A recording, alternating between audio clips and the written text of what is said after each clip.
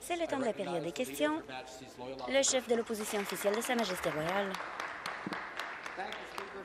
Au premier ministre, il y a moins de deux semaines, le gouvernement a annoncé de grands changements au réseau de la santé en Ontario.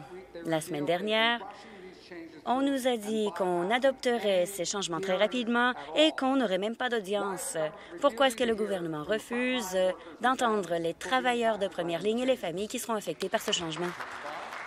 Le premier ministre. Monsieur le Président, ce sont des problèmes qui nous attaquent depuis des décennies. Ils ont été créés par les néo-démocrates et les libéraux, mais ils n'aiment pas la solution. Laissez-moi citer la députée de Waterloo qui, en décembre 2019, a dit sur les soins alternatifs, les niveaux alternatifs de soins, que ce, soit que ce sont des patients qui devraient se retrouver à l'hôpital, qu'ils devraient être dans des soins de longue durée ou des logements assistés, la députée d'Oshawa, le 26 mars 2018, a dit sur les autres niveaux de soins que ces soins occupent l'espace dans nos hôpitaux pour des gens qui sont en transition, qui se retrouvent dans les limbes, qui se retrouvent sur des listes d'attente et donc on voudrait les envoyer à quelque part d'autre. Donc, d'un côté, on dit ces gens ne devraient pas être à l'hôpital. Le lendemain, on nous dit qu'ils devraient y être. Il faudrait se, se brancher ici. Complémentaire. Pour être clair, nous n'avons pas besoin d'abuser des, euh, des aînés, nous. Les patients des soins de longue durée peuvent se retrouver jusqu'à 300 km de leur famille. Nous venons de terminer la campagne électorale. On n'a rien entendu sur ce sujet de la part du gouvernement. Mais il y a 12 jours après avoir annoncé qu'on fermait discussion, on se demande pourquoi est-ce que le gouvernement ne veut pas entendre les familles et les travailleurs de, première ligne qui seront affectés par ces changements le leader euh, parlementaire du gouvernement et ministre des Soins de longue durée. Je ne sais pas d'où tient ces informations, d'où le NDP tient ces informations. Nous savons que c'est un problème depuis longtemps, depuis des décennies dans la province de l'Ontario. La façon dont on doit gérer les patients en niveau alternatif de soins. Nous avons investi des milliards de dollars dans notre réseau de la santé, Monsieur le Président. Les experts sont d'accord le meilleur endroit où se trouver pour quelqu'un qui a reçu son congé de l'hôpital, qui est sur une liste d'attente et qui attend pour son choix primaire est de se retrouver dans un foyer de soins de longue durée, pas à l'hôpital. Le statu quo ne fonctionne pas. Et nous ne nous arrêterons pas. Nous allons améliorer le réseau pour les gens qui sont dans nos hôpitaux et qui veulent devenir des résidents de foyers de soins de longue durée. Malgré la protection du statu quo par l'opposition, nous allons aller de l'avant parce que c'est la meilleure chose à faire pour les patients en soins de longue durée. Complémentaire final. Monsieur le Président, ce n'est pas clair euh, de savoir qui écoute le gouvernement. Les patients nous disent qu'il n'y a pas assez de lits en soins de longue durée pour alléger la pression sur les hôpitaux. C'est le gouvernement qui nous l'a dit. Les infirmières en première ligne nous, nous disent que cette mesure ne changera rien à la situation en Ontario et forcera simplement les patients à se retrouver dans un environnement où il y a très peu de personnel à un autre, où il y a très peu de personnel encore. Ce plan ne fonctionnera pas. Le gouvernement ne veut pas l'entendre. Il semble plutôt que le gouvernement ne veuille pas l'entendre le leader parlementaire du gouvernement. Remettons les choses en contexte. Il y a 6 000 personnes environ qui sont à l'hôpital, qui ont reçu leur congé. Près de 2 000 d'entre eux sont des patients en soins de longue durée qui veulent être transférés dans un foyer de soins de longue durée. Ils sont sur la liste d'attente. Les professionnels ont dit qu'ils recevront meilleurs soins dans les foyers de soins de longue durée. Et voilà ce que l'on essaie de faire. Je regarde les mots de l'ancien député de Timmins, Gilles Bisson, qui a dit, lorsqu'il parlait des soins de longue durée, qu'est-ce que ça signifie lorsqu'on ne transfère pas les gens de l'hôpital aux soins de longue durée? Il dit que ça signifie que lorsque vous amenez votre enfant à l'hôpital parce qu'il brise son bras, il faut attendre en salle d'urgence parce qu'il n'y a pas d'endroit où les placer. Donc, si les néo-démocrates veulent appuyer le statu quo, nous, ce ne sera pas le cas parce qu'on sait que pour les aînés, le meilleur endroit où se trouver, c'est un foyer de soins de longue durée, non pas dans un lit d'hôpital en attendant, ce transfert. Député de Niagara Falls, prochaine question. Merci, Monsieur le Président. Le gouvernement refuse d'écouter les patients et les travailleurs de, de, première ligne sur le projet de loi 7. Les néo-démocrates ont tenu des audiences ce matin. Voici ce qu'un expert nous a dit ce matin même. Le processus est antidémocratique. Le projet de loi est un abandonnement des droits des patients on appelle ça les Hunger Games du réseau de la santé. Ce projet de loi trompe la population. Pourquoi est-ce que le gouvernement va de l'avant sans des audiences? Parce que le gouvernement ne veut pas se faire dire à quel point ce sera un désastre. Le ministre des Soins de longue durée. Monsieur le Président, nous en avons parlé souvent. Lorsque vous commencez à faire gonfler le réseau, les néo-démocrates veulent qu'on le détruise. Donc, nous avons investi dans 58 000 nouvelles, nouveaux foyers de partout en Ontario, dans toutes les régions.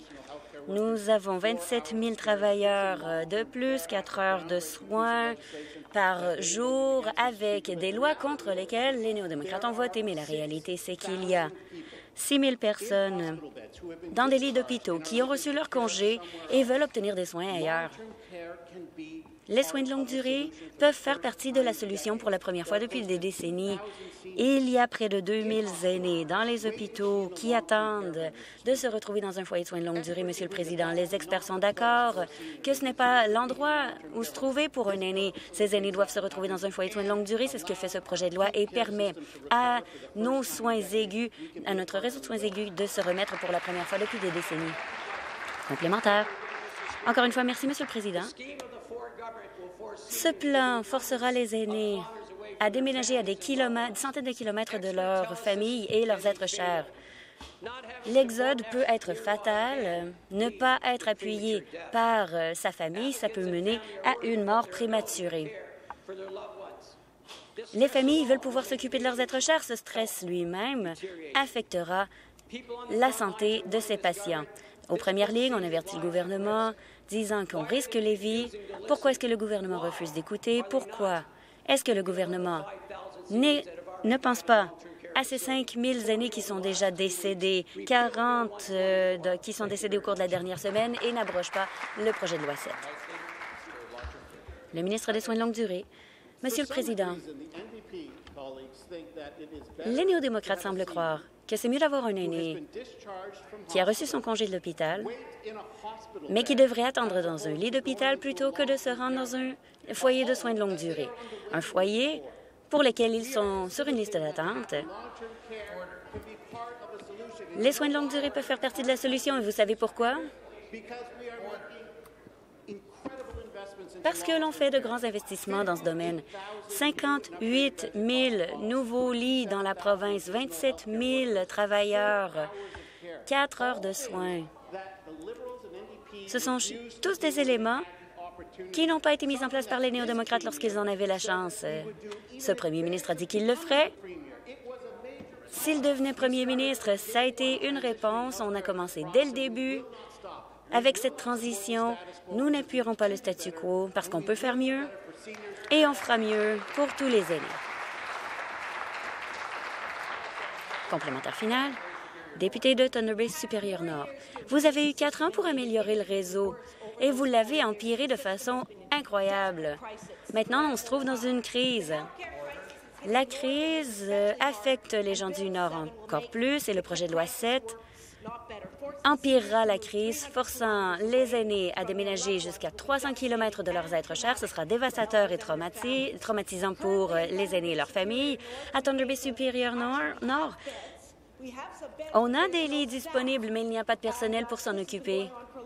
Et ça fait longtemps qu'on est dans cette situation. Les aînés et les personnes handicapées sont définis comme étant des personnes qui bloquent des lits par le gouvernement simplement pour ensuite améliorer les profits des foyers de soins de longue durée privés.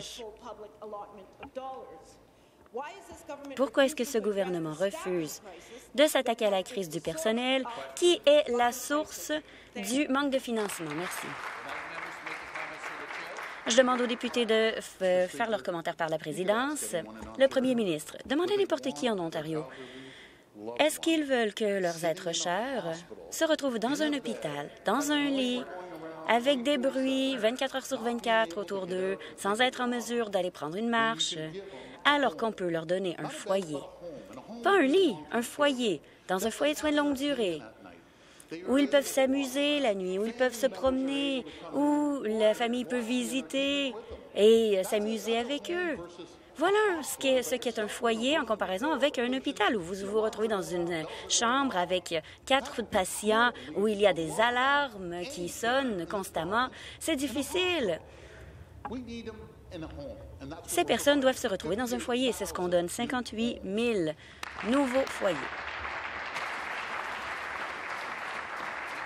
Prochaine question. Député de Scarborough-Sud-Ouest. Merci, Monsieur le Président. Ce matin, des gens de partout en Ontario qui représentent différents secteurs sont venus nous parler, des militants pour les aînés, des retraités, des travailleurs de la santé, des gens qui représentent les travailleurs, des gens qui s'inquiètent beaucoup du projet de loi 7, évidemment, des travailleurs de la santé de différents secteurs. Un PSSP nous a dit que le projet de loi 7 blâme les gens les plus vulnérables pour une crise qui ne dépend pas d'eux. Et on les force à quitter et se retrouver à des centaines de kilomètres de leur famille et leurs amis. Il y a une crise du personnel dans le réseau de la santé. C'est ce qu'a dit ce PSSP, mais que ce projet de loi ne réglera pas le problème. Déjà, les gens sont, sur, en surmenage et feront face au dilemme de compromettre la qualité de, des soins. Pourquoi est-ce que ce gouvernement refuse d'écouter les travailleurs de première ligne qui offrent des solutions réelles? Le ministre des Soins de longue durée. C'est tout le contraire, Monsieur le Président. On écoute les travailleurs des premières lignes, aux, professionnels de la santé. Lorsque quelqu'un a reçu son congé de l'hôpital, lorsque votre être cher a reçu son congé, le meilleur endroit où se retrouver, c'est dans un foyer de soins de longue durée. Il y a près de 2000 aînés qui attendent à l'hôpital, ayant reçu leur congé et qui veulent se retrouver dans un foyer de soins de longue durée. C'est ce que fait ce projet de loi. Il s'assure que ces gens demeurent au haut de la liste d'attente pour leur euh, foyer de soins de longue durée de préférence. C'est un projet de loi qui travaille avec nos professionnels de la santé, qui et si les néo-démocrates avaient lu ce projet de loi, ils sauraient que ces patients ne seront pas déménagés à moins que les foyers où ils se retrouvent ont le niveau de personnel nécessaire. Ici, on parle de régler la situation dans les foyers de longue durée et d'améliorer la situation des patients. Complémentaire. Nous sommes dans une crise du réseau de la santé. Les urgences ferment. Des centaines d'emplois sont encore vacants. Le problème fondamental avec ce projet de loi, c'est c'est qu'on blâme ces patients qui sont très vulnérables alors que le problème n'est pas leur faute. Plutôt que de régler la situation, on blâme les aînés. Les experts euh, en matière de patients et les militants disent que plutôt que d'écouter, le gouvernement les ignore. Abroger le projet de loi 124, donner des congés maladie payés, embaucher plus d'infirmières, plus de PSSP. Vous pouvez faire tellement de choses. Faites en sorte que les professionnels formés à l'étranger soient reconnus. Ce gouvernement a mis en place un plan cruel qui menace les aînés et les menace de grands frais s'ils refusent de déménager à des centaines de kilomètres de leurs amis et leurs familles. Pourquoi est-ce que ce gouvernement est aussi cruel envers les gens les plus vulnérables de la province? Le ministre des Soins de longue durée. C'est une, question bizarre pour cette députée, étant donné que tout ce que la députée a mentionné dans, son, dans sa question, ce sont des éléments contre lesquels les néo-démocrates ont voté.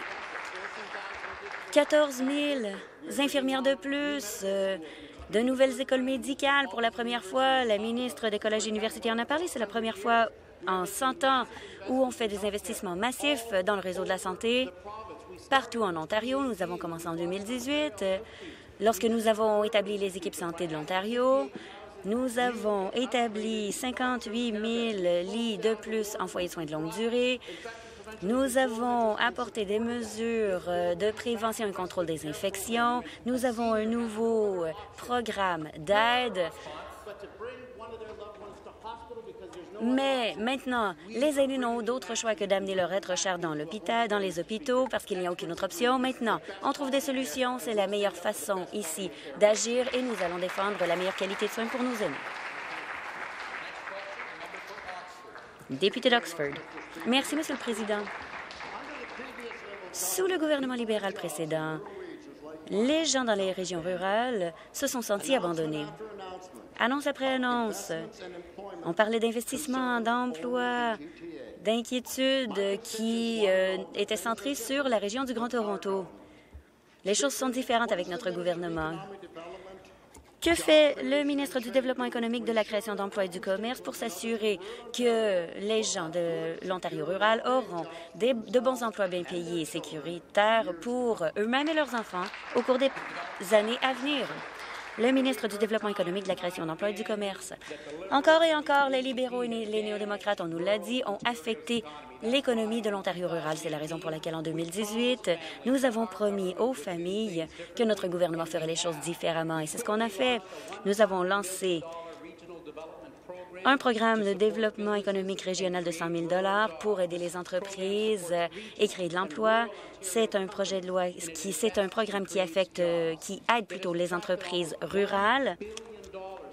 Nous avons investi environ un milliard de, milliard de dollars dans des investissements externes. Nous avons créé 2200 nouveaux emplois à Woodstock. Taylor Blanks a investi 17,4 millions de dollars dans un projet afin de mettre à jour son installation de fabrique de pièces automobiles. Euh, le programme régional a créé 32 emplois. Voilà un exemple de notre engagement envers les gens d'Oxford et des familles de l'Ontario rural. Complémentaire. Merci, Monsieur le ministre, pour votre réponse et pour les investissements qui ont été faits à Oxford. La semaine dernière, le député de, Newmarket Aurora a mentionné que ses, commettants sont inquiets des possibilités économiques dans leur, sa circonscription. Aujourd'hui, je vous parle des inquiétudes de mes commettants qui sont similaires. Les entrepreneurs et les PME euh, appuient des centaines de familles dans la région. Le programme n'a pas de disposition pour les gens qui ont des ambitions entrepreneuriales. Les entrepreneurs et ceux qui veulent avoir une PME ont besoin aussi d'être appuyés. Monsieur le Président, que fait le ministre pour aider les entrepreneurs de ma circonscription à faire croître et lancer leur entreprise? Le ministre du Développement économique. Nos PME et entrepreneurs sont essentiels à la prospérité de l'Ontario. C'est la raison pour laquelle nous ne les oublierons jamais. Et voilà une promesse. Ensemble, les libéraux et les néo-démocrates ont changé le rêve d'être un entrepreneur en un cauchemar. Les, le fardeau administratif, les tarifs d'électricité très élevés ont jeté de l'eau froide sur ces projets en flammes. Donc, nous avons diminué les impôts, nous avons réglé le problème dans le réseau de l'électricité créé par les libéraux, nous avons investi à chaque année, nous fournissons 362 000 dollars aux entrepreneurs de Woodstock afin qu'ils aient tous les outils nécessaires pour lancer leur entreprise. Et un autre 95 000 dollars pour des entreprises pour qui, afin d'aider plutôt les étudiants et les jeunes entrepreneurs à lancer leurs entreprises. Voilà la façon dont on aide ces entrepreneurs. Prochaine question. Député de Mushkegowik, James Bay. Président, ma question est pour le premier ministre. Le projet de loi 7 est un grand souci pour les gens de la province encore plus pour les francophones. Pourquoi? Parce qu'il y a déjà une lacune aux établissements de soins de longue durée désignés francophones. Il y en a 30 en Ontario. Il y a des listes de tentes exorbitantes dans tous les foyers du Nord. Cela dit, cette loi va forcer des résidents francophones de se faire transférer à des centres unilingues, et ça à plusieurs heures de chez nous, et à l'encontre de leurs désirs. C'est inacceptable. Ma question, est-ce que le gouvernement va modifier le projet de loi 7 et respecter le choix des résidents de leurs emplacements? Le ministre des Soins de longue durée. Euh, comme vous savez, nous avons fait euh, beaucoup d'investissements dans les logements pour les franco-ontariens. Euh, J'ai travaillé avec le ministre Mulroney pour assurer que la communauté francophone, dans toute partie de cette province, avait les services dans la langue de, leur choix. En même temps, le, député, le, le, le parliamentary assistant, elle a travaillé avec moi euh, pour assurer que, le euh, que la communauté francophone, comme j'ai déjà dit, euh, à toute part de cette province avait des choix de, nouveaux logements et en même temps pour communiquer dans leur langue, dans la langue française. Et ça continuait avec ce projet de loi. Merci. Supplementary. Merci, M. le Président. J'apprécie la réponse du ministre mais beaucoup de ces lits sont même pas construits aujourd'hui. Les études démontrent que 68% des joints en soins de longue durée souffrent de démence. Et souvent, ces gens reviennent à leur langue maternelle. C'est primordial que la santé et le bien-être des personnes âgées d'être parmi leurs proches et d'être entourés des gens francophones. Est-ce que le gouvernement va respecter les lits NSD francophones et leur accorder le droit de demeurer dans leur communauté et ne pas être transférer sans leur consentement et de faire face à des coûts exorbitants.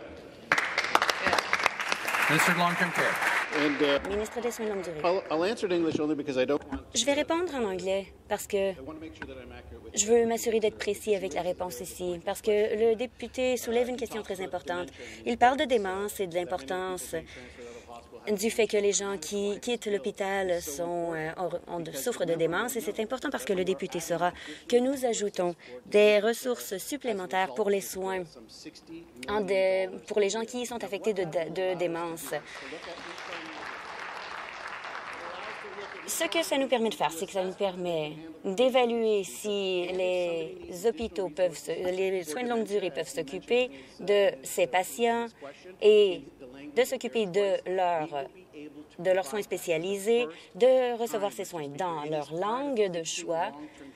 Ça fait partie de notre plan pour régler les problèmes dans les soins de longue durée et je crois que le député sera d'accord sur le fait que c'est bien mieux pour quelqu'un d'être dans cette situation plutôt que de se retrouver dans un hôpital, de recevoir ses soins dans un foyer. Et j'espère que les néo-démocrates nous appuieront. Prochaine question, député de Etobicoke Lecture. Merci, Monsieur le Président. Statistique Canada rapporte qu'un certain nombre de résidents euh, pourraient, en fait, euh, le nombre en fait, de résidents dans la province pourrait baisser à 19 millions. Et c'est en fait euh, un nombre qui est très différent. Alors, beaucoup ont choisi Etobicoke comme un lieu de résidence et il manque malheureusement l'infrastructure pour pouvoir appuyer les besoins de la population croissante. Et à cause des années de euh, manque de soins et euh, du travail qui a été fait en fait par le gouvernement libéral précédent, il y a des personnes qui vivent déjà avec les conséquences de l'inaction du gouvernement. Alors, Monsieur le Président, que fait le gouvernement pour pouvoir construire des réseaux de transport pour aider la population croissante? Merci, Monsieur le Président. Cette députée défend toujours le développement des infrastructures en termes de transport. Et il est vrai que le gouvernement précédent a laissé, laissé l'Ontario non préparé pour les besoins d'aujourd'hui et de demain. Alors, avec le leadership de ce Premier ministre, nous avons un programme très courageux pour pouvoir aller de l'avant et pouvoir aider la population à euh, se déplacer dans notre province. Nous avons donc euh, créé de nouvelles lignes nous avons créé la ligne Ontario qui va jusque donc au centre d'exposition de la ville de l'Ontario. C'est une, euh, euh, une ligne qui est la plus grande dans l'histoire pour pouvoir répondre aux exigences du Canada. Cela va arriver donc euh, du centre d'exposition jusqu'au musée des sciences. Cela va aider à créer 4700 emplois dans la province et cela va réduire les émissions de gaz à effet de serre. Et à travers cette ligne, notre gouvernement livre ses promesses que nous avons faites et aide les Ontariens à se déplacer en Ontario. Question complémentaire. Alors, euh, Monsieur le Président, ce sont des informations très intéressantes. Ce sont de très bonnes nouvelles et nous allons pouvoir construire un, réseau de transport encore meilleur qui va aider les Ontariens et les personnes à pouvoir donc se déplacer dans la province et faire en sorte de savoir qu'est-ce qui pourrait arriver si on ne fait pas les investissements qui sont nécessaires pour demain. On essaye donc de maintenir le pas avec une population croissante et nous devons agir maintenant pour pouvoir agir pour les besoins de euh, la population. Est-ce que le ministre associé des Transports peut expliquer quels sont les projets futurs pour répondre aux exigences de la province? Le ministre associé des Transports. Merci, Monsieur le Président. Je suis véritablement euh, euh, fier aujourd'hui de pouvoir parler de ce que nous faisons parce que après le euh, travail du gouvernement libéral, etc., nous nous sommes trouvés en fait face véritablement à de grandes difficultés, à des problèmes de circulation et nous avons aussi élargi la ligne Yang-Norway et nous avons élargi aussi vers Scarborough Scarborough et vers l'Est, la ligne de métro. Nous rendons beaucoup plus facile pour la population de pouvoir être connectée, de pouvoir, se, rendre au travail, de pouvoir aller à l'école pour les jeunes. Nous avons élargi de 50 le réseau de euh, métro et ça veut dire que cela aide à euh, réduire les émissions de gaz à effet de serre, réduire les embouteillages. Alors, Monsieur le Président, à la différence des libéraux et du NPD, nous construisons de nouveaux réseaux pour que soit prêt à aller de l'avant. Prochaine question. Miigwech, Monsieur le Président. Question au Premier ministre. L'Ontario du Nord et ses hôpitaux ont euh, un impact disproportionné concernant le manque de ressources humaines et de ressources pour le secteur de la santé. Les hôpitaux, malheureusement, souffrent du manque de médecins et d'infirmiers et d'infirmières pour pouvoir justement répondre aux exigences. Monsieur le Président, c'est quelque chose qui n'est pas durable. Pourquoi ce gouvernement permet que des agences privées puissent créer ces lacunes alors qu'ils devraient travailler pour pouvoir travailler avec les hôpitaux du Nord, pour pouvoir créer des solutions qui soient durables. La ministre de la Santé. Il est important pour nous d'apprécier, de comprendre qu'il y a eu beaucoup de crises, beaucoup de difficultés. Il y a eu des annonces à Brenton et Scarborough pour qu'il y ait de nouvelles opportunités pour les personnes, pour que les personnes puissent donc euh, travailler en tant que médecin en Ontario. Alors, nous avons donc euh, un développement pour pouvoir aider aussi le développement du travail et de la profession médicale en Ontario et dans les zones rurales. Nous avons des personnes comme Anthony Dale, euh, dans, qui représente l'Association des hôpitaux de l'Ontario, qui deviennent rapidement des fournisseurs de soins de santé de dernier ressort pour des milliers de personnes qui ont besoin d'accès à des soins de longue durée et à des maisons de soins. Il est précisément pourquoi notre gouvernement a investi des milliards de dollars dans notre nouvelle ligne de euh, développement pour faire en sorte que les soins communautaires puissent arriver dans les communautés où les gens les désirent. Question complémentaire. Merci, Monsieur le Président. Alors, euh, euh, dans le centre de santé de notre circonscription, on a dû utiliser donc euh, des infirmiers pour les soins de longue durée pour pouvoir aider les personnes. Aujourd'hui, et aujourd'hui, il, euh, y a 70% d'infirmiers euh, qui viennent, donc qui sont en fait euh, embauchés euh, sur contrat par rapport donc à 30% d'infirmiers et d'infirmières qui sont embauchés directement par les hôpitaux. Cela nous mène à une crise. Alors, qu'est-ce que ce gouvernement fait aujourd'hui pour pouvoir résoudre le problème de ressources humaines dans l'hôpital de ma circonscription? La ministre de la Santé. Merci, Monsieur Monsieur le Président, et cette question, en fait, me donne l'occasion de pouvoir mettre en évidence le travail qui se fait actuellement dans notre province. Nous travaillons avec le Collège des infirmiers et des infirmières parce que nous savons qu'il y a actuellement retard et nous attendons de voir s'ils ont, en fait, la formation et les accréditations nécessaires pour pouvoir travailler en Ontario. Nous allons continuer ce travail parce que nous voulons garantir qu'on puisse fournir les ressources humaines nécessaires là où on en a, où on en a besoin au moment où on en a besoin. Le problème dont parle le député d'enfance, c'est un problème en fait qui n'est pas vrai. Il n'y a pas, euh, ce n'est pas réel. C'est quelque chose qui historiquement a a été un problème, c'est-à-dire de recruter et maintenir les personnes dans l'Ontario du Nord. Et franchement, moi, je euh, rappelle avec tout le respect aux députés que c'est justement le gouvernement conservateur qui a commencé euh, à lancer donc les nouvelles études médicales dans l'Ontario du Nord. Député de Don Valley West. Merci, Monsieur le Président. Mes commettants sont préoccupés aussi par le projet de loi 7 et concernant les effets que cela va avoir sur les soins pour les patients. Et les patients aînés risquent d'être transférés à d'autres euh, euh, institutions, à d'autres organismes de soins de longue durée. Les personnes qui se trouvent dans les soins de, dans les maisons de soins de longue durée ont des taux de décès élevés et des périodes d'isolation qui sont euh, d'isolement en fait qui sont très longs.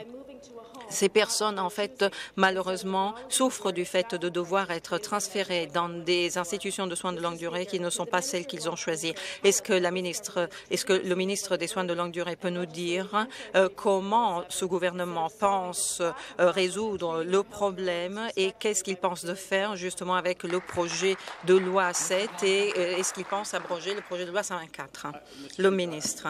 Merci, Monsieur le Président. Je peux tout simplement dire que euh, le chef du Parti libéral a demandé en fait à, une nouvelle députée de poser cette question, peut-être parce qu'ils ne comprennent pas l'héritage que le Parti libéral a laissé. C'est le Parti libéral qui a créé ces difficultés.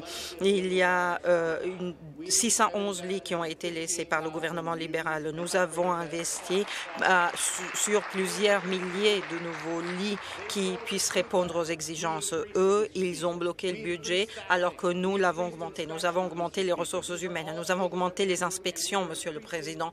Ce sont des choses que nous sommes en train de faire et nous avons amélioré le niveau de soins pour pouvoir faire en sorte qu'on puisse donner euh, quatre heures de soins par personne par jour, alors qu'avec le gouvernement libéral, ce n'était que deux heures et demie. Ce gouvernement a fait beaucoup plus que tous les gouvernements ont fait par le passé.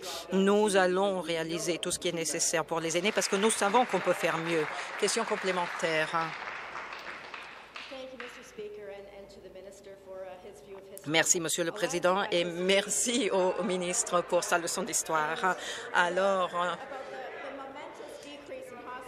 la baisse de lits d'hôpital euh, de laquelle nous sommes encore en train d'essayer de sortir, en fait, s'est passé avec d'autres gouvernements dans les années 90. Ce projet de loi 7 va envoyer les aînés dans des foyers de soins de longue durée qui ne sont pas ceux de leur choix. Et de plus, ces aînés peuvent aller dans des foyers de soins de longue durée qui sont à but lucratif et qui souffrent en fait de problèmes de ressources humaines. Comme on a fait référence en fait, dans ce qu'on a dit déjà par le passé. Alors, Monsieur le Président, à travers vous, est-ce que le ministre peut nous dire comment il peut garantir que les patients et les familles puissent euh, être envoyés à des foyers de soins de longue durée qui sont ceux qu'ils ont choisis? Est-ce qu'ils vont recevoir les soins dont ils ont besoin pour pouvoir répondre à leurs défis, à leurs difficultés? Merci beaucoup. Le ministre. Réponse. Merci, Monsieur le Président. Oui, effectivement, c'est la loi dans la province de l'Ontario et c'est devenu une loi pour pouvoir résoudre les problèmes liés aux soins de longue durée.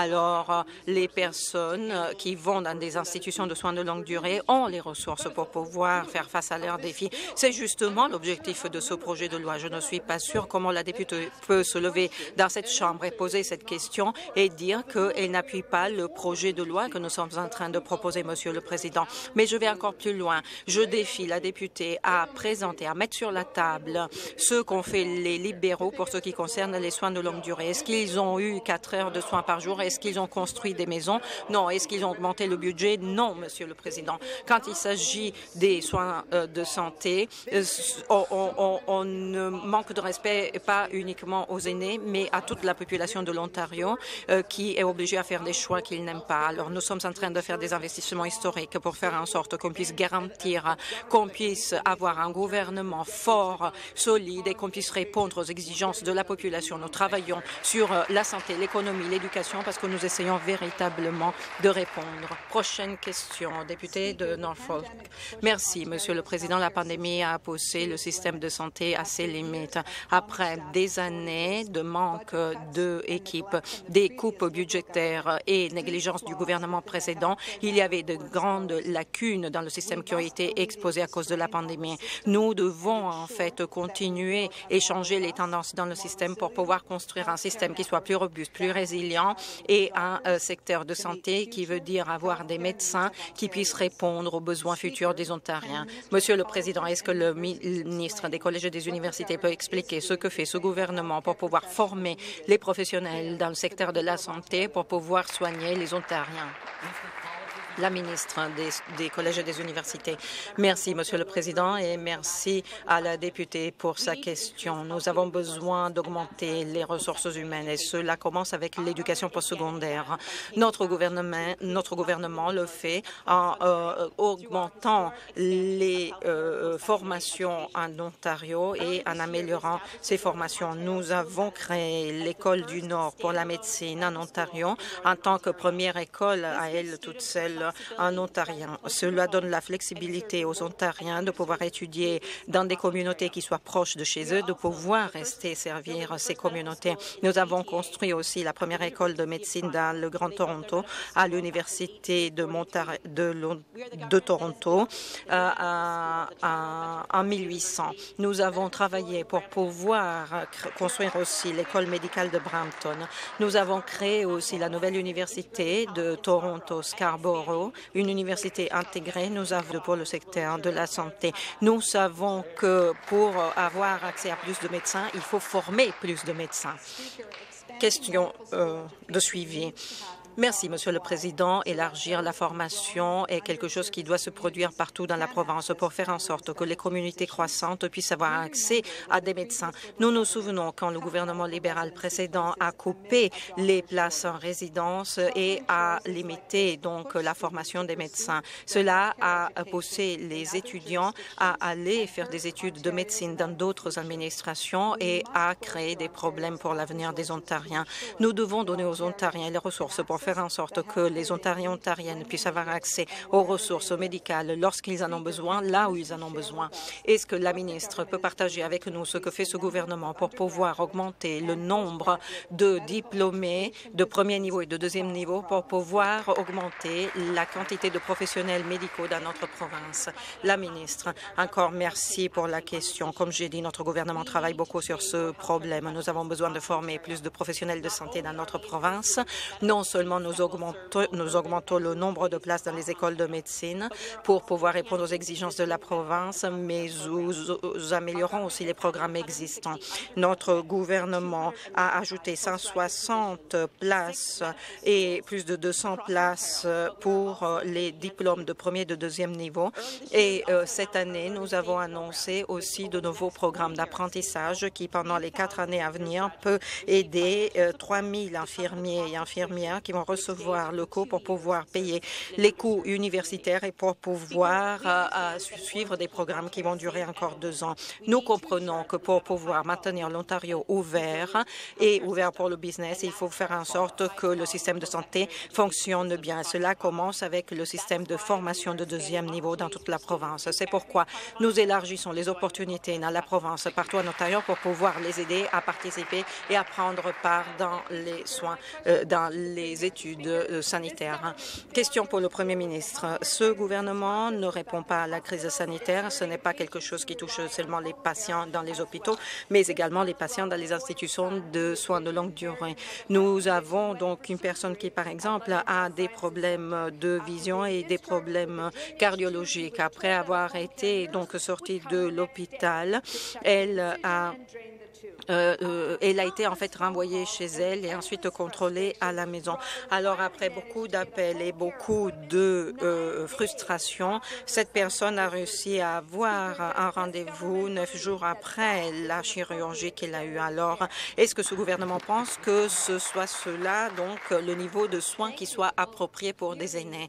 La ministre, merci. Effectivement, nous avons fait des investissements de milliards de dollars qui, euh, effectivement, répondent aux besoins euh, nécessaires pour pouvoir justement euh, euh, répond aux besoins d'améliorer les soins de santé. Alors, qu'est-ce qu'ils euh, font, ces investissements dans les communautés? Eh bien, ce financement vont appuyer 28 000 euh, places pour des soins aigus et pour des personnes qui ont des problèmes complexes de santé. Chaque année, on fournit donc des visites médicales d'infirmiers et on a fourni en particulier 739 par an. Nous faisons investissements nécessaires parce que nous comprenons qu'il ne s'agit pas uniquement des hôpitaux. Ce n'est pas uniquement quelque chose qui touche les soins primaires et les soins à la maison, mais c'est quelque chose qui est important aussi pour les soins communautaires parce qu'il y a des gens qui veulent pouvoir euh, se soigner chez eux et donc nous allons fournir tout le soutien nécessaire pour aider ces personnes à se former.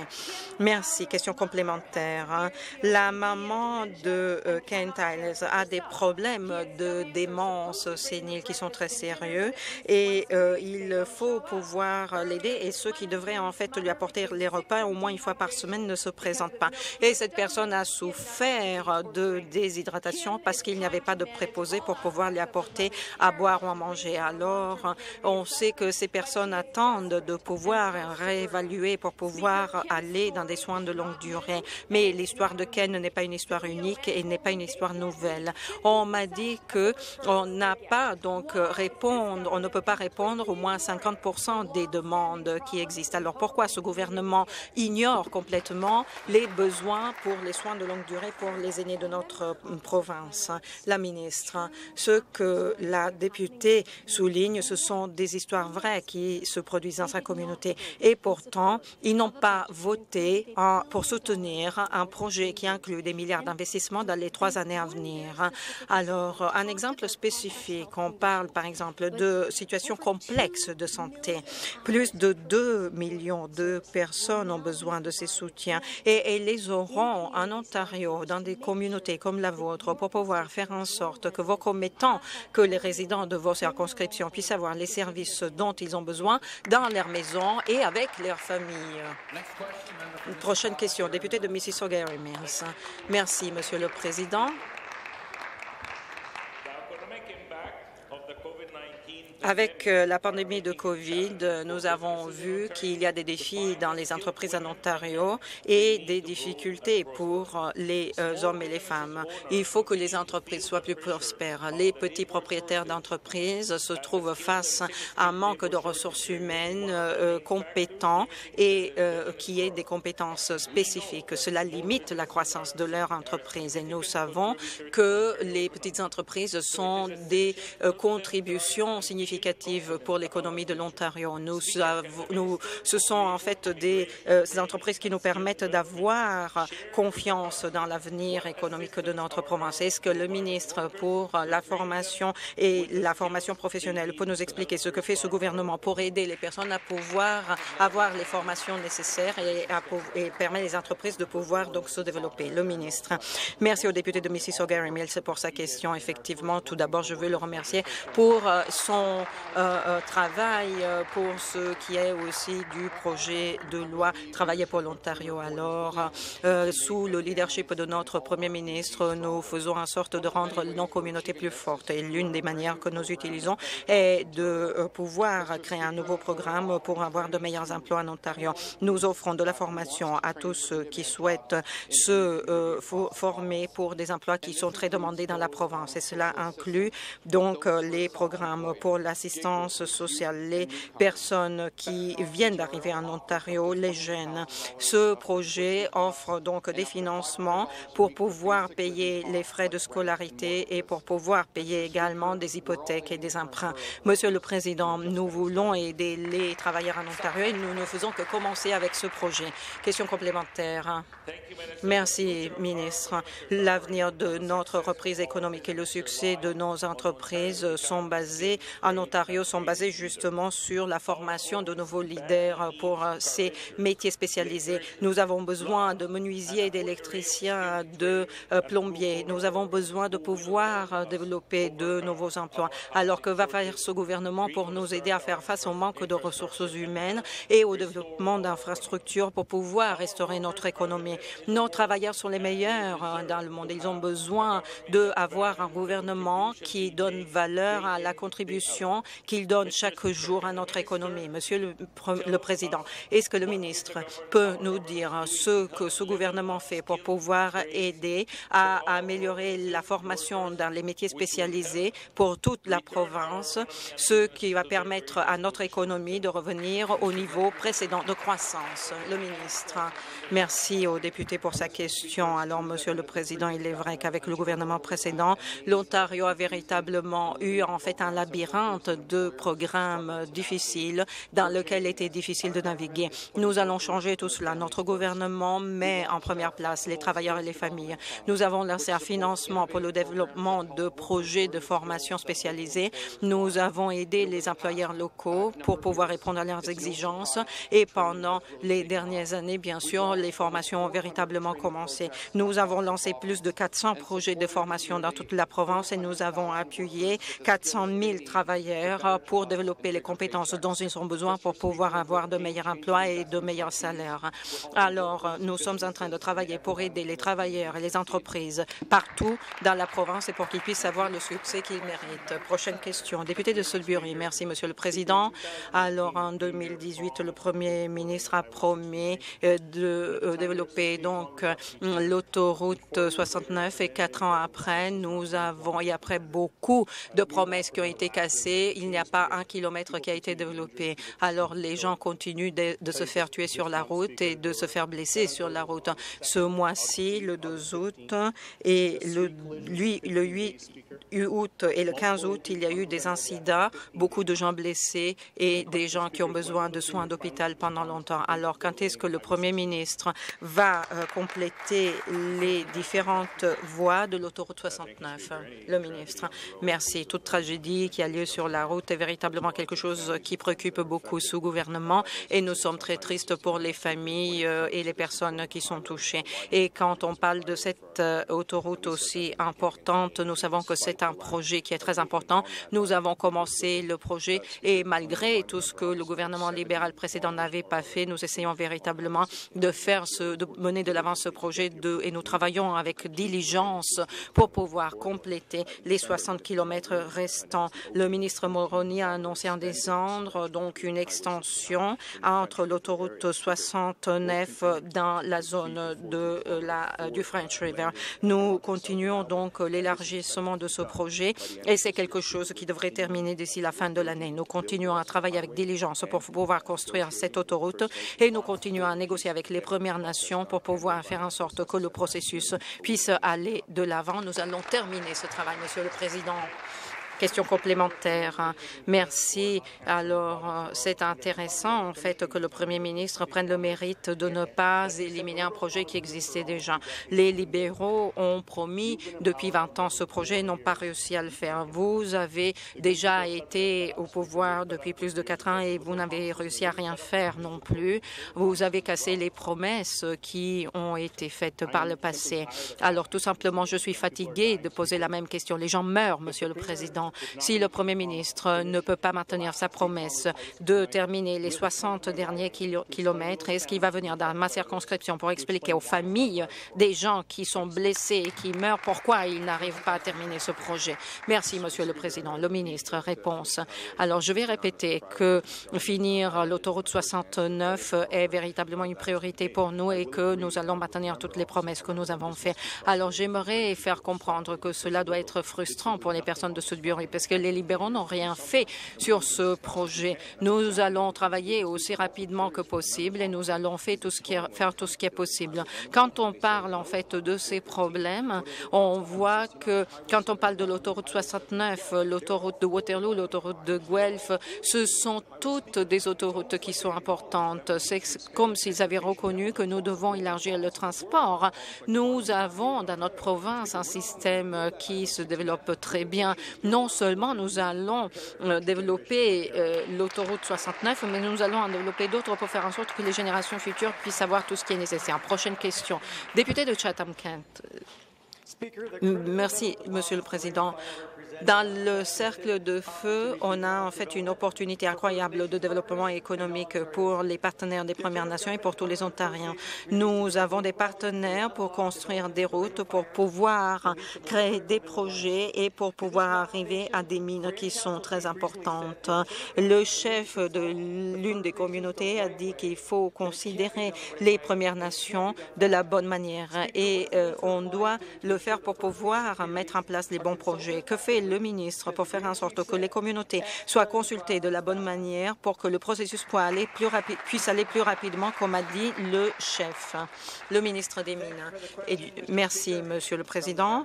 Euh, merci de la question donc euh, du député de euh, Chatham. Alors, Monsieur le Président, en travaillant avec les Premières Nations, nous faisons en sorte que les consultations soient faites de la bonne manière. Nous avons donc engagé les Premières Nations qui guident justement le développement de nos projets et nous travaillons travaillons donc avec euh, les euh, sociétés importantes dans les Premières Nations. Nous avons lancé de nouveaux projets pour et des consultations pour les membres des Premières Nations pour pouvoir nous guider dans le développement de ces projets. Le gouvernement travaille euh, coude à coude avec les communautés des Premières Nations. J'ai offert tout le soutien de notre gouvernement pour pouvoir mener de l'avant ces consultations. Monsieur le Président, quand nous consultons de la bonne manière les communautés, nous faisons les choses comme il et nous faisons de véritablement progrès sur, le chemin de la réconciliation. Question complémentaire. Le président, avec euh, le gouvernement précédent, le développement du cercle de feu n'était pas une priorité. Le seul travail qu'il faisait, c'était donc des opérations photographiques, des opérations médiatiques et il ne faisait rien pour aider la communauté. Ils euh, n'ont jamais livré ce qu'ils ont promis. Ils ont euh, annoncé des financements, mais rien n'a jamais été fait. Ils n'ont jamais, dans ce budget, par exemple, parlé du cercle de feu. Alors, j'aimerais rappeler que nous pouvons faire mieux que euh, de mettre 15 ans pour construire et développer des mines. Alors, que fait ce projet de euh, ce gouvernement pour développer ce projet? Le ministre des Mines. Alors, euh, merci, Monsieur le Président, pour cette question. Notre message est très clair, Monsieur le Président. Il n'y a pas d'économie verte sans mines et nous avons besoin des minéraux fondamentaux et du cercle de feu pour pouvoir répondre à nos exigences. C'est pour cela que ce gouvernement travaille avec les Premières Nations pour construire plus de prospérité et cela nous mène au cercle de feu. Notre gouvernement est engagé pour un milliard de dollars pour pouvoir créer des routes, des infrastructures et pour développer d'autres projets communautaires nous avons mis en place deux projets qui sont déjà en cours, Monsieur le Président. Nous pouvons faire tout, Monsieur le Président. Nous pouvons construire des partenariats avec les Premières Nations et c'est exactement ce que ce gouvernement est en train de faire. De Niagara Centre. Merci, Monsieur le Président.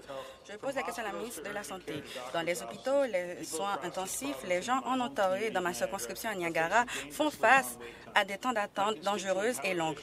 Mon, commettant, Aaron Dasher, qui a 70 ans, a une maladie grave et qui est très préoccupant pour sa famille et pour son, médecin de famille. Il a été référé à un neurologue, mais il y a plusieurs arriérés suite aux complications de la COVID-19. Mais il y a aussi des pénuries de médecins à Niagara. Harold n'a pas pu a dû attendre plus d'un an pour avoir accès à une consultation et de plus, il y a eu d'autres complications pour avoir accès à des soins. Est-ce que la ministre de la Santé peut nous expliquer pourquoi est-ce qu'il y a un temps d'attente d'un an pour avoir accès à des soins de santé pour répondre aux besoins critiques? Ministre de la Santé. Merci, Monsieur le Président. Je vais prendre l'occasion pour souligner encore une fois les, les cinq points dans notre plan que nous avons proposé, incluant par rapport à votre commettant Herod, l'investissement de 3 millions de dollars pour la relance dans les hôpitaux, qui est un total d'un milliard de dollars pour répondre à cette pénurie de médecins. Bien sûr, nous avons environ 400 nouveaux cliniciens praticiens en Ontario dans les communautés rurales et urbaines. Nous travaillons avec l'Ordre des infirmières et des infirmiers en Ontario afin de s'assurer de répondre aux arriérés et à que ces personnes puissent avoir accès à, ces, évaluations pour avoir accès à leur accréditation de manière accélérée. Nous allons le faire parce que nous savons que c'est important pour la province. Complémentaire, Monsieur le Président, Niagara, Niagara a 250 médecins et la plupart d'entre eux sont en âge avancé. Niagara, la santé à Niagara m'a dit que il y a une période d'admission d'un an et cela n'est pas suffisant pour répondre à la pénurie. Nous savons que cela prend du temps pour avoir accès à des soins. Grâce aux médecins de famille, il y a plusieurs temps d'attente dans les urgences et c'est un effet de cercle vicieux qui se passe. Est-ce que le gouvernement va finalement considérer notre plan que nous avons déposé en mars afin que ces médecins et ces professionnels formés à l'étranger puissent pratiquer leur profession en Ontario? Merci, Monsieur le Président. Nous l'avons dit que la situation actuelle n'est pas appropriée. Nous n'allons pas accepter cela. Dans la région de Niagara, je vous donne des exemples spécifiques. Les leaders, les experts en, Niagara utilisent le programme afin que ceux et celles qui appellent le 911 peuvent être envoyés, que ce soit dans les hôpitaux, dans les foyers de soins de longue durée ou dans leur domicile lorsqu'ils ont reçu des soins essentiels, soit à domicile ou en communautaire. Nous savons qu'il est essentiel de travailler avec nos partenaires parce que nous voulons nous assurer que, que, que le modèle de soins, par exemple à Niagara, peut encourager les autres communautés à faire de même. Merci, Monsieur le Président. Merci. Prochaine question. Député de Scarborough Agent Court. Merci, Monsieur le Président. Monsieur le Président, il est contradictoire le fait que les libéraux se sont opposés d'avoir accès à des maires forts. En 2008, le Premier ministre libéral était d'accord avec cela et David Mills avait demandé plus de pouvoirs et de fonctions spéciaux. Il a dit, je soutiens un système de maires fort et je vous appuie. Fin de la citation. Il y a une crise dans le, dans le secteur du logement. Alors, l'opposition doit mettre de côté leur politique partisane afin de travailler ensemble en tant qu'Assemblée législative de l'Ontario pour bâtir et construire des logements beaucoup plus durables pour les Ontariens et les Ontariennes. Est-ce que le ministre des Affaires municipales et du Logement peut nous dire comment est-ce qu'un système de maires beaucoup plus fort peut nous aider à répondre à cette crise afin que plus de familles peuvent réaliser leur souhait de devenir propriétaires? Ministre des Affaires municipales et du Logement. Merci. Je remercie le député de Scarborough et John Court pour la question. Le député est entièrement euh, correct l'ancien premier ministre était d'accord avec ce plan de maire fort, mais c'est grâce à ce gouvernement que nous allons le faire. Monsieur le Président, nous proposons des changements à ce que les maires à Toronto et à Ottawa, les villes les plus larges en Ontario, aient accès à des outils afin d'accélérer les projets de construction du logement beaucoup plus rapide. Durant l'élection précédente, le premier ministre s'est engagé aux Ontariens et Ontariennes afin de garder les coûts bas et de s'assurer que nous avons un plan pour bâtir 1,5 million de dollars au cours de 10 ans. Et je peux vous rassurer, le député de, l'autre côté de la Chambre et aux Ontariens que nous allons le faire. Complémentaire. Merci, ministre. Monsieur le ministre. Monsieur le Président, l'ancien conseiller municipal de Toronto a appuyé ce système de maire fort afin d'avoir une direction par rapport à la bureaucratie pour changer les ressources d'une autre manière. Pour citer ce, ce, ce conseiller, en 2008, il y avait un besoin d'un système de mer fort. Toronto est un instrument de production économique. Et si cet, instrument tombe en faillite, les autres secteurs vont aussi être en faillite. Donc, nous voyons ce qui se passe dans le système aujourd'hui afin de continuer à réduire les formalités administrative. Et, Monsieur le Président, qu'est-ce que le ministre et les députés de l'Assemblée législative vont faire pour répondre à la situation? Ministre du Logement et des Affaires municipales, je remercie le député de Scarborough et John Court, encore une fois. Comme je l'ai mentionné plusieurs fois dans cette Chambre, nous, nous devons commencer la mise en chantier beaucoup plus rapide afin de bâtir plus de maisons, plus de logements, de tout types différents. Beaucoup trop de familles sont gelées et ne peuvent pas avoir accès à la propriété parce qu'il n'y a pas assez de logements d'options disponibles dans la province. C'est la raison pour laquelle notre gouvernement s'est engagé dans l'élection précédente sous la direction du premier ministre Ford que nous allons bâtir 1,5 million de milliards de dollars d'ici 10 ans. Mais l'opposition veut que nous continuions à attendre, à à attendre euh, des retards qui ne sont pas nécessaires. Ils, ils préfèrent attendre 15 ans pour commencer la mise en chantier. C'est la raison pour laquelle nous nous avons parlé aux commettants, nous les avons regardés droit aux yeux et nous les avons dit que nous n'allons pas faire ce que les libéraux et les néo-démocrates ont fait auparavant. Il y a eu de la, la haine provenant de l'opposition ne va pas nous retarder dans nos plans pour la province. Attention, Monsieur le ministre, par rapport à vos propos. Prochaine question. Merci, Monsieur le Président. Je pose la question au Premier ministre. Le Centre de défense pour la sécurité du revenu et d'autres euh, défenseurs ont demandé au Premier ministre de continuer à doubler les taux de POSPH et de la prestation d'Ontario au travail. Dans mon bureau, on a reçu plus de 3200 courriels en une courte période de temps pour doubler cette eau. Les prestataires d'aide sociale dépendent de banques alimentaires, de refuges et font face à des difficultés sans précédent. Il y a plusieurs rénovations et des augmentations en flèche du loyer,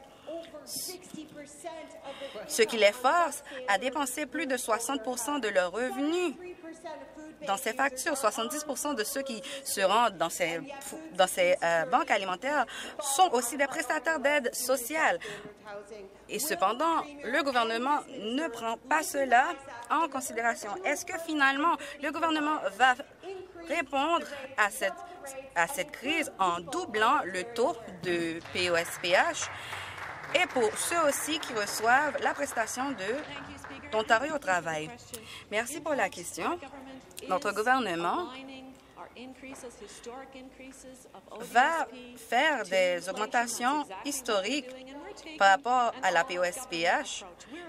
Nous nous écoutons toutes les parties. Nous nous assurons que ceux et celles qui peuvent travailler font partie du programme de, l'emploi pour être qualifiés, se préparer à ces emplois.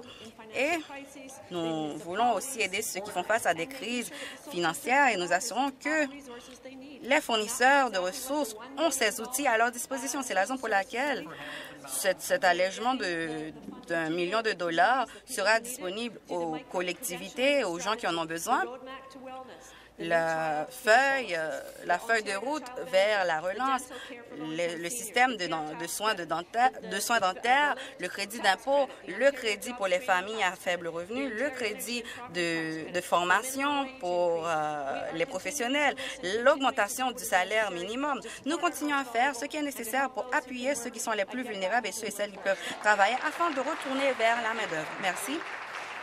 C'est la fin de la période des questions pour ce matin. Député de Peter, Peterborough Court a un rappel au règlement. Merci, Monsieur le Président. Je veux euh, féliciter le centre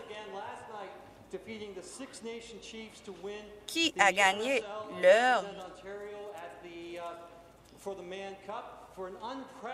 leur jeu qui est une victoire sans précédent et je demande un consentement unanime qui représente euh, les commettants d'avoir accès à ce chandail?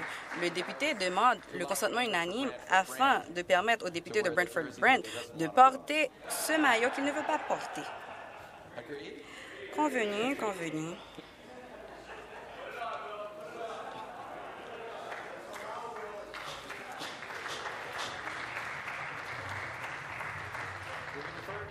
Nous avons un vote différé concernant l'amendement à l'avis de motion numéro 4 émanant du gouvernement par rapport à l'attribution du temps.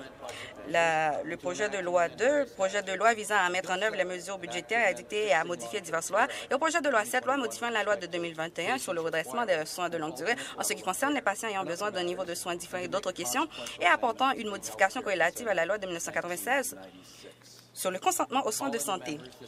Convoquer les députés, il y aura une sonnerie de cinq minutes.